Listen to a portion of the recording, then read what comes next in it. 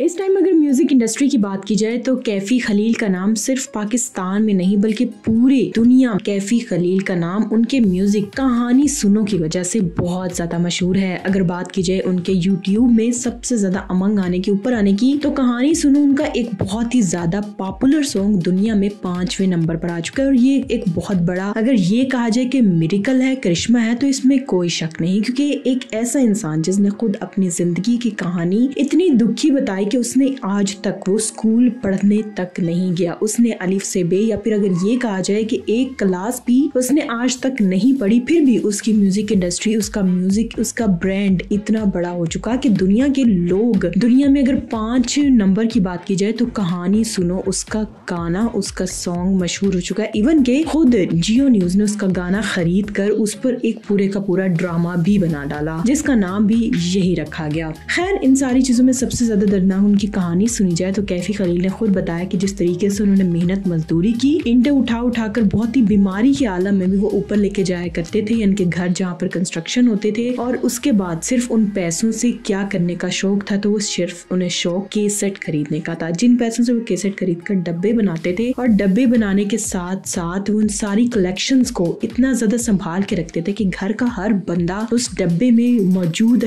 एक एक केसेट का ख्याल रखता था, क्योंकि कैफी खलील का उस केसेट से, उस डब्बे से बहुत सारा प्यार था। और यही शौक, यही जुनून उनको कामयाबी की उस ऊंचाई तक ले गया, जहाँ तक म्यूज़िक अकेडमी पढ़ने वाले म्यूज़िक की बड़ी बड़ी क्लासेस लेने वाले न्यूयॉर्क या फिर बड़ी बड़ी सिटीज़ से आउट ऑफ़ कंट्री जाकर म्यूज़िक सीखने सीखने वाले लोग भी पीछे रह गए। खैर कैफी खलील की दर्दनाक कहानी के बाद उनकी होने वाली ऊंचाइयों और कामयाबियाँ देखकर फैंस उनको और ज़्यादा पसंद कर रहे हैं। व्यूअर्स आपको कैफी खलील और उनकी सुनी कहानी और उसके बाद उनका म्यूज़िक म्यूज़िक कहानी सुनो, कितना ज़्यादा पसंद आया। हमें कमेंट सेक्शन में ज़रूर बताइएगा, अपना ढेर सारा ख्याल रखिएगा।